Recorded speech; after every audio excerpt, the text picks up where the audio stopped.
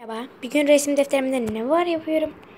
Resim defterimde yani. Resim defterimdeki ilk resim öğretmenim böyle Fatma Yıldırım 4 F falan yazdı. Görsel sanatlar defteri. İlk resim bu böyle bir öğretmen şey yapmıştı. Böyle bir ev yapmıştım.